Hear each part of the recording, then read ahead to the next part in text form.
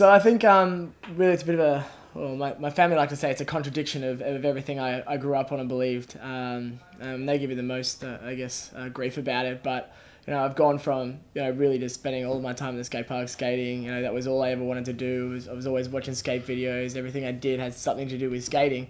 Um, to you know where you find myself today, still skating, but you know I, I have to get up and, and have a shower and chuck my suit on every single morning, make sure I'm smelling pretty, um, just to I guess go and work for the man.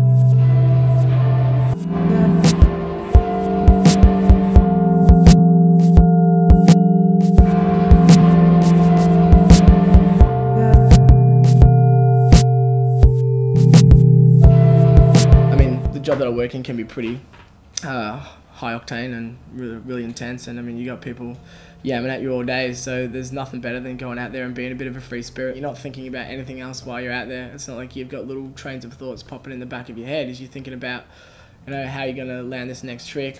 Where's my footing going wrong?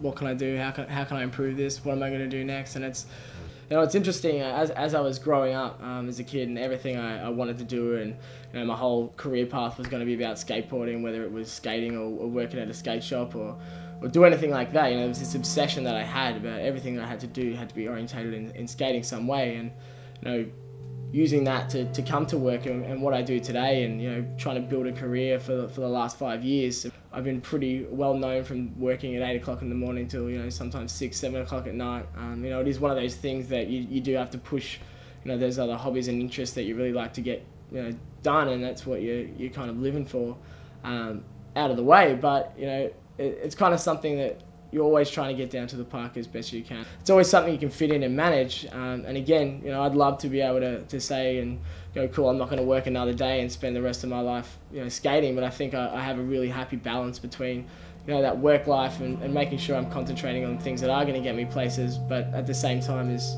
you know, really you know, getting into something that I love as, as much as I possibly can.